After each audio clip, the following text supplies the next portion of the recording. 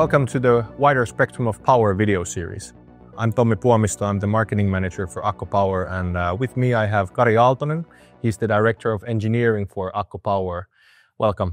Thank you. And uh, today we're talking about the internal combustion engine. So, uh, in general, there's been a lot of talks about uh, going to zero emissions, looking at alternative power sources for both on-road and especially for us off-road uh, work. And we're talking about battery electric, we're talking about fuel cell, uh, hybrid.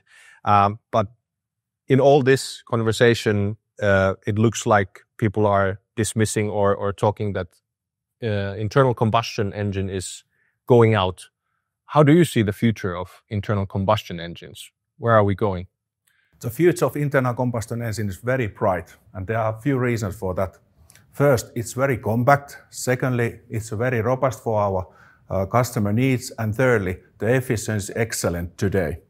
And one important uh, thing is that uh, the autonomy, what our farmers, our customer needs daily, it might be up to 10 hours or even more. So we have to have a solution which provide that autonomy. And today, the combustion engine with liquid fuel, a diesel fuel, that provides it. And there is no alternative solution which could provide the same performance, efficiency, robustness, and autonomy for our customers, the farmers. Okay, well, that's that's a pretty strong argument for the internal combustion engine. Uh, how about then emissions? Because when we're talking about going towards alternative fuels and alternative uh, power sources, we're talking about zero emissions. How what what's the situation of emissions with in, uh, combustion engines? So the emissions has dropped a lot since the last uh, 15, 20 years. So if we compare our engines or tractors uh, 15, 20 years to today's uh, diesel engines or combustion engine and tractors, so the emissions has dropped more than 99%. And in this case, we, mean particle matters and NOx, which are the near emissions. So the emissions or exhaust are really clean today with what comes out from the tractors and, and combustion engines. Okay, so already without any changes or alternative fuels, modern uh, internal combustion engines are extreme, extremely clean compared to what they used to be. Exactly. So the emissions are, are really, really low, which okay. means that the uh, exhaust gas is really clean and even uh, you, it's not any, any more visible. So you don't see it when the exhaust is coming out from the exhaust pipe. But uh, for the future, we need a, a CO2 reduction, which means that we have to go from today's fossil diesel to the alternative diesel, okay. which is renewable. Okay. And that will reduce the CO2.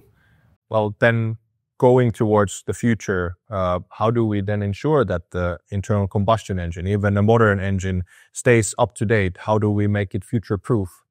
So actually, we have done it already. Our core engine family was developed uh, with a couple of main objectives in mind. First of all, it, uh, it was designed to be very uh, high performance and high efficient engine, and also we wanted to uh, make it uh, future proof for alternative fuels like a hydrogen and we have actually already proven it. We have a hydrogen version out of our Core 50 engine with more than 40% efficiency. So combustion engine is very flexible for all main alternative fuels in future. Okay. Thank you, Kari, for this update on the internal combustion engine. Uh, I think the future of internal combustion looks a lot brighter than many people might think. So actually, then in the next episode, we'll be going deeper into the potential fuels that can be used in the in the internal combustion engine. So definitely stay tuned. Uh, look at the AGCO Power channels, join the conversations, and uh, the future looks clean and bright.